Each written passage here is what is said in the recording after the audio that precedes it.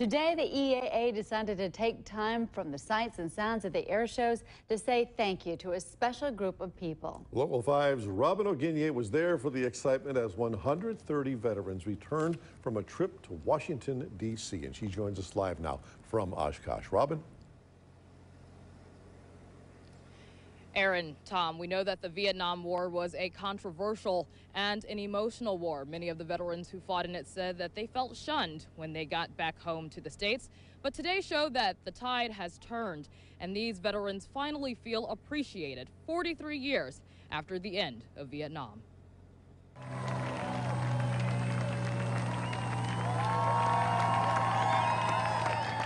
When they came back from Vietnam, they, they really felt like, boy, I served my country, I did my time, I did what I was asked to do, and yet um, we were, you know, booed and frowned upon and all kinds of demonstrations against them.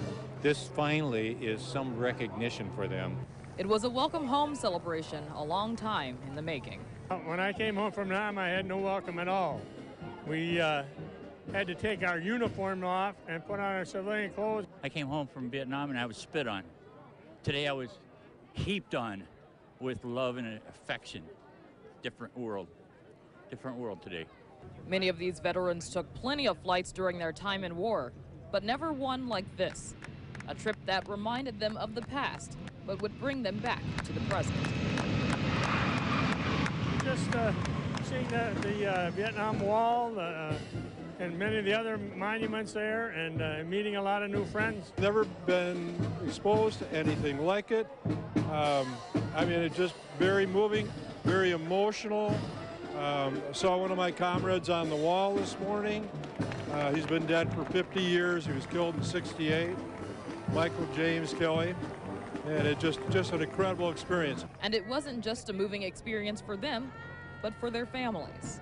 I'm very thankful that he even thought about going because he hasn't been wanting to think about Vietnam for a long time.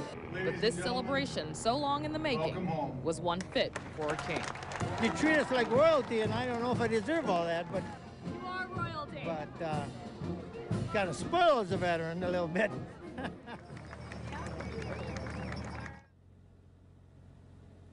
The veterans left around 6.30 this morning. They were able to visit several war monuments, including Arlington National Cemetery. And the best part, they didn't have to pay a dime for it. All the funds were raised by nonprofit organizations. Live in Oshkosh, Robin O'Guiney, Local 5 News.